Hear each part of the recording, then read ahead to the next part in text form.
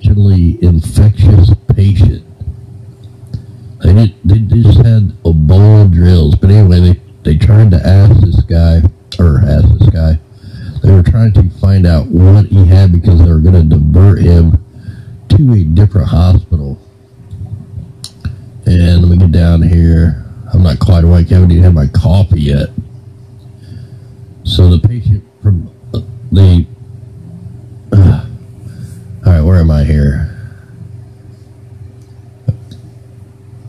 Uh, Trying to find it. Sorry about this. Trying to get this out real quick here. So the patient who was traveling through the Clinton area was taken to a different hospital in the state because he or she needed specialized care. And this is a small hospital down here. Now they asked him if it if it was the possibility of a serious as Ebola.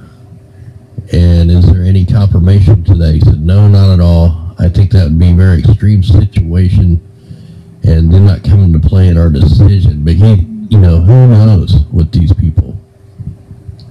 We just want to make sure everybody knows that this is going on.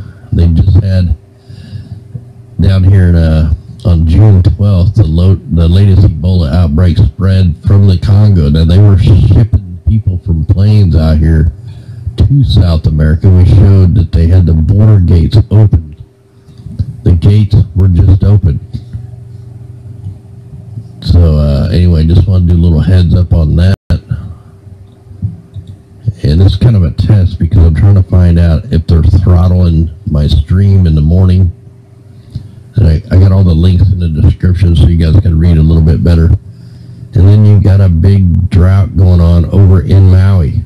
Now a bunch of people got hurt for some planes from the turbulence. So they're breaking records there and the jet stream is totally freaked out. We've showed that on some, some other stuff, but 37 people were hurt, nine seriously on Air Canada flight hit by turbulence. So it was diverted from Honolulu International Airport around 6:46 a.m. and exa- examined the injured. Now there is no trade winds. They haven't had any trade winds for a couple months. So they're just like burning up. Let's see what this says here. Air Canada Flight 33 was the roughest ride in the Flight 33. Can you? You can't make that up.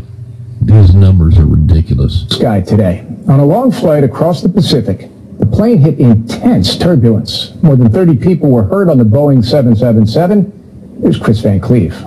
Hey, let's get a 777 in there. All right, we won't play too much of that.